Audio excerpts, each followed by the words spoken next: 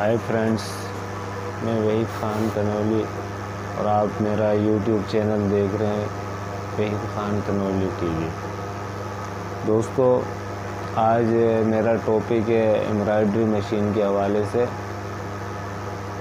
क्योंकि मेरा रिपेयरिंग का काम है। मैं एम्ब्रॉयडरी मशीन की रिपेयरिंग वगैरह मैं करता हूँ और मेरी अक्सर विज़िट पे भी जाता हूँ मशीनों पे। तो मेरा टॉपिक ये है कि आप मशीन लेना चाह रहे हैं या मशीन लगाना चाह रहे हैं तो बहुत अच्छा काम है, होना चाहिए। तो ये आप देख सकते हैं मेरा रिपेयरिंग सेंटर है तो अभी मैं कुछ पीसीबी है मशीन के कुछ कार्ड हैं। अगर आप मशीन से रिलेटेड हैं, अगर आप के पास एम्ब्रॉयडरी मशीन है तो आपको मालूम होगा किस किस तरह के कार्ड हैं। तो ओवरऑल मशीन के मदर बोर्ड हो गए, मशीन का हेड पीसी कार्ड हो गया कलर चेंज कार्ड हो गया सप्लाइयाँ हो गई। तो ये हर चीज़ वर्किंग में है। इसके अलावा ये आप बैक साइड पे देख सकते हैं सप्लाइयाँ पड़ी हुई हैं। कुछ नए वर्जन के हैं, कुछ पुराने वर्जन के हैं। तो इसके अलावा केबलें हो गई डेटा केबल वगैरह। तो अगर आप न्यू हैं एम्ब्रॉयडरी मशीन लगाना चाह रहे हैं तो अच्छी बात है, लगाएँ, कोई ऐसा इशू नहीं है। बहुत अच्छा काम है साफ़ सुथरा काम है। इसके लिए लेबर भी आसानी से मिल जाती है और अगर आपकी अपनी जगह है तो बहुत अच्छे अगर आपकी अपनी जगह नहीं है तो आप रेंट पे भी ले सकते हैं। और इसके अलावा लेबर का भी इशू नहीं और कोई इतना हैवी काम तो है नहीं। सिंपल है। मार्केटिंग का आपको मालूम होना चाहिए। तो कोई ऐसा इशू नहीं अगर मार्केट से भी आपका कुछ लिंक नहीं है तो जब आप आ, मशीन लगाएँगे ज़ाहिर सी बात है कोई ना कोई एक रेफरेंस अगर आप बिल्कुल न्यू हैं तो कोई ना कोई ऐसे एक आपको अपने दोस्त यारों में कोई ऐसे एक रिलेटिव मिल जाएगा तो वो आपको थोड़ा सा रास्ता दिखा देगा। अगर वो भी नहीं है तो बहुत इजी है कि आप किसी भी अगर आप ख़ुद नहीं जानते आप किसी भी किसी से मालूम लेगी, किसी ब्रोकर के ज़रिए आप मशीन ले सकते हैं। मशीन अच्छी कंडीशन की, उसमें बहुत वैरायटी की मशीन आती है।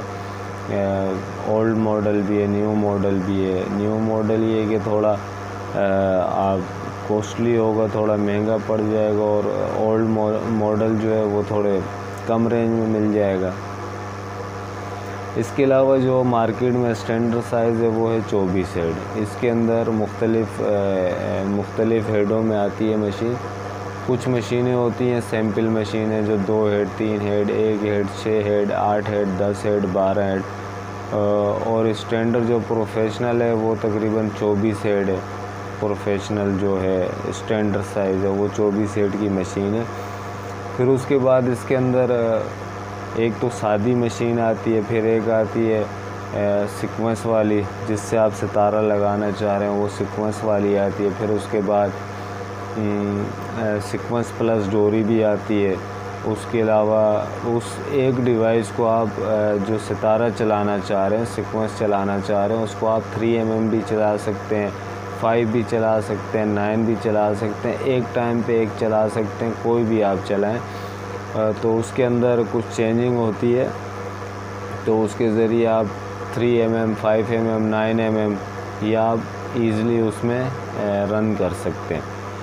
उसके अलावा डोरी की बात है, अगर आप डोरी लगाना चाहो, वो भी आप लगा सकते हो। अगर आप डोरी वाली मशीन लेना चाहो सिक्वेंस प्लस डोरी लेना चाहो, या आप सिर्फ़ सिक्वेंस लेना चाहो, या सिर्फ़ आप डोरी लेना चाहो या आप शादी लेना चाहो, देखें रेंज के हिसाब से जिस तरह की जिसकी रेंज हो उसके हिसाब से वो ले सकते हो और अपने काम के हिसाब से कि उसके पास किस किस्म का काम है, वो उस उस तरह की मशीन ले सकते हैं। बाकी सैंपल मशीन में आए तो सैंपल मशीन में आपको एक, दो, तीन, चार, पाँच छः हेड आसानी से मिल सकती है, कोई ऐसा इशू नहीं है, उसके लिए आपको कोई इतनी बड़ी जगह भी नहीं चाहिए।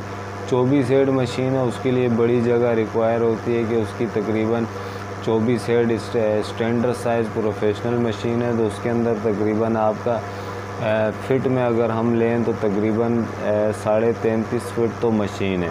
उसके अलावा मशीन के एक साइड दूसरी साइड आप अगर एक एक फिट भी छोड़ते हैं तो तकरीबन साढ़े तैंतीस और दो फिट, साढ़े पैंतीस फिट आपको आपकी जगह मशीन के लिए चाहिए। बाकी उसके अलावा जितना बड़ा साइज़ हो तकरीबन अगर हम लेंथ की बात करें, लंबाई की तो कम से कम आपके पास चालीस फिट की जगह होनी लाजमी है। उसके अलावा चौड़ाई की हम बात करें तो मशीन की चौड़ाई, अपनी जो स्टैंडर्ड साइज़ मशीन आ रही है, उसकी चौड़ाई है तकरीबन साढ़े दस फिट। ग्यारह फिट। अब इसके लिए आपको बैक साइड पे तकरीबन ये समझ लें कि कम से कम कम से कम जो रिक्वायरमेंट है, कम से कम छः छः इंच या एक फिट आपका बैक साइड पे होना चाहिए।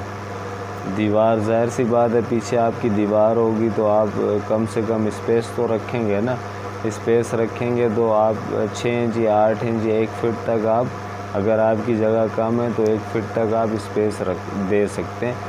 उसके अलावा आप फ्रंट पे आएँ तो फ्रंट पे अगर आपकी जगह चौबीस बाई पैंतालीस है, चौबीस बाई चालीस है, या आपकी जगह अठारह बाई चालीस है तो उसके हिसाब से अगर चौबीस पैंतालीस आपकी जगह तो आपकी दो मशीनें आराम से आ जाएँगी।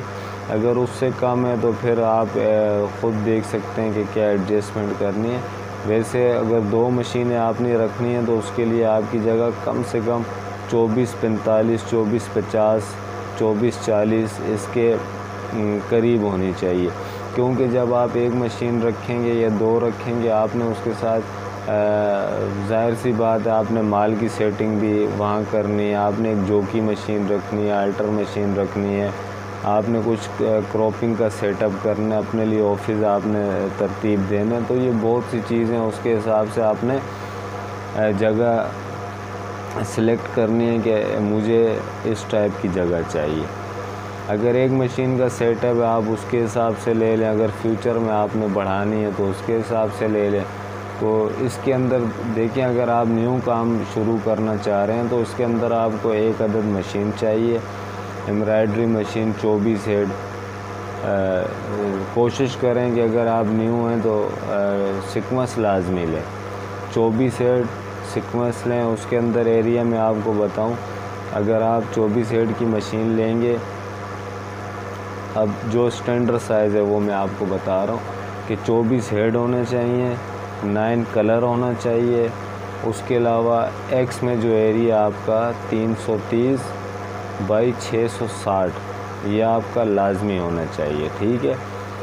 660 से ये कि आप एक हेड भी बंद करें, करेंगे तो एक से ले कर तीन तक हेड बना देगा। वो आपका तकरीबन बनेगा 660 तकरीबन 26 इंच का आपका डिज़ाइन बन सकता है। वैसे 330 जो है हेड टू हेड वो तकरीबन 13 इंच है। जब आप एक हेड बंद करेंगे, एक हेड से तीसरे हेड तक आपका 26 इंच बनेगा।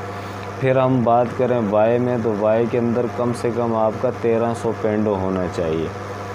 1300 पेंडो, ये स्टैंडर्ड साइज़ है। बाकी मशीन के अंदर बहुत से ब्रांड है, मैं आपको नाम बताता चलूँ।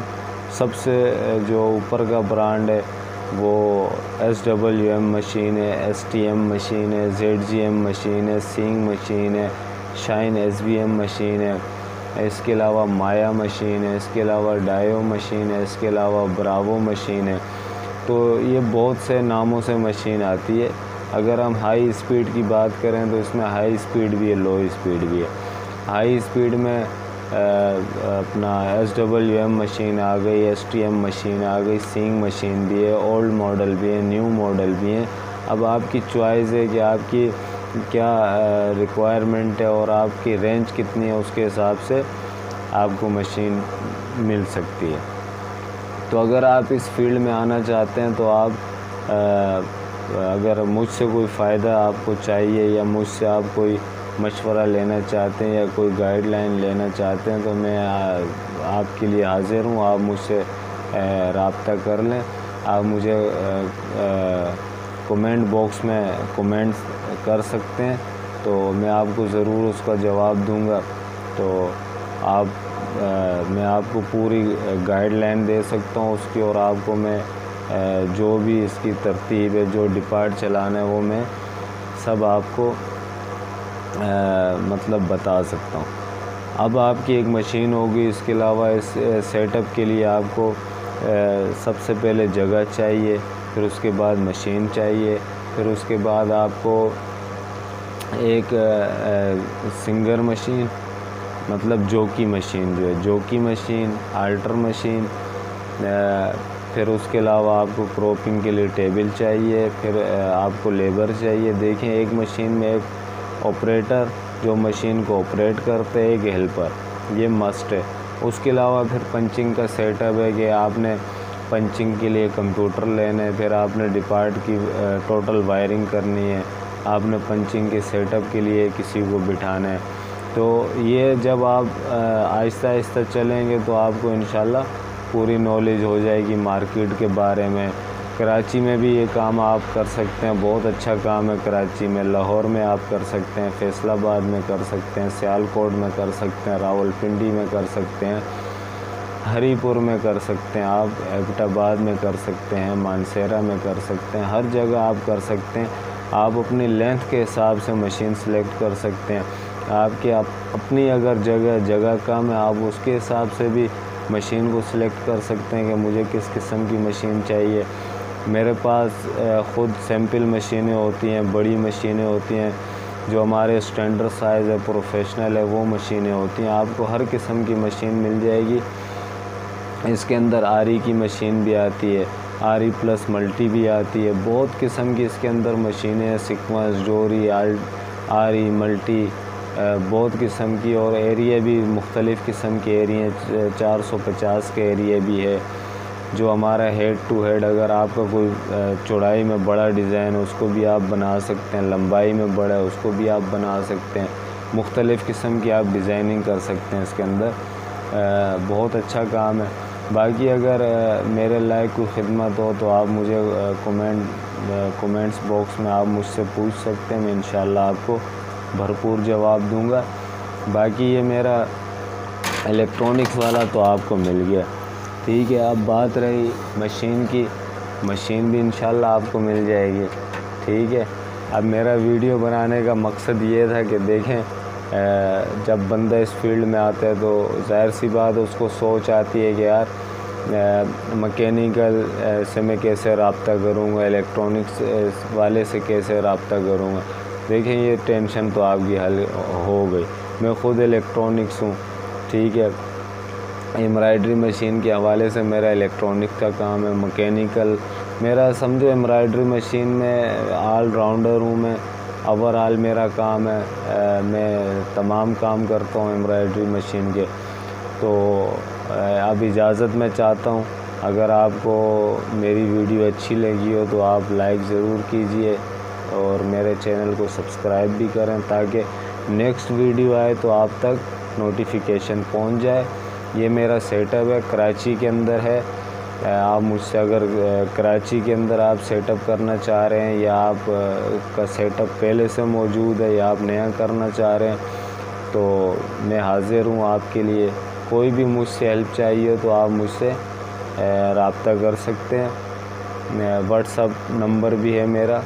वो आप मेरे से टचिंग में आएँगे कमेंट्स बॉक्स में तो मैं आपको ज़रूर नंबर दे दूँगा। या मैं कोशिश करूँगा डिस्क्रिप्शन के अंदर अपना नंबर ऐड कर दूँ। तो मैं इजाज़त चाहता हूँ, फिर इन नेक्स्ट वीडियो में मिलेंगे। अल्लाह हाफिज़।